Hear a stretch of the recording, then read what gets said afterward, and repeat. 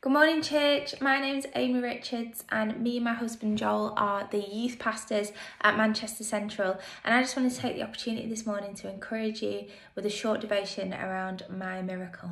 So, about two years ago, me and my husband Joel were in the middle of planning our wedding. We had lots of plans and ideas of what our wedding day would look like, but due to COVID restrictions and lockdowns, there was a lot more barriers to planning our wedding day than we first expected. We understood that there would be some sacrifices that we had to make, but I think sometimes it can be difficult when you expect a situation to look one way and it looks another in reality.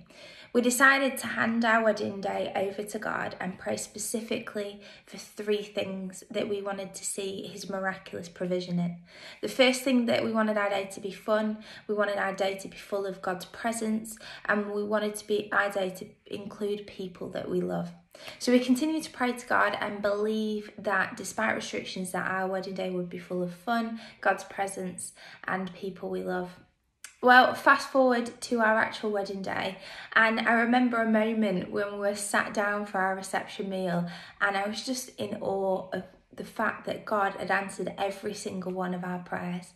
There was um, some changes in restrictions literally days before our wedding, which meant that we could have um, more people, that we could have a worship service, that we could stream um, our wedding to people that weren't able to attend and just enjoy the day.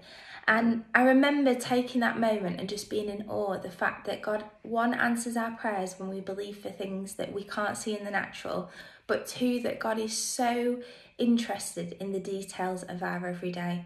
And I want to encourage you today if you're believing for a miracle and it may feel small, maybe you've even shared it with someone and it, it feels like they just think it's a little thing, that actually God is so interested in the detail.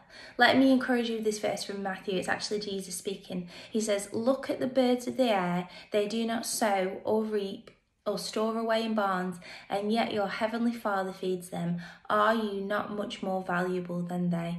So today I want to encourage you with the words of Jesus that actually He cares about the details of your life, and when you pray for things, that He will provide your needs and will be in the detail of everything. So today I just want to encourage you with that thought that God is in the detail, that whatever you're believing for, that He's in the midst of it, and um, yeah, that you will see His miraculous provision in your life as you trust Him with the big things and trust Him in the small. Have a great day, church. See ya.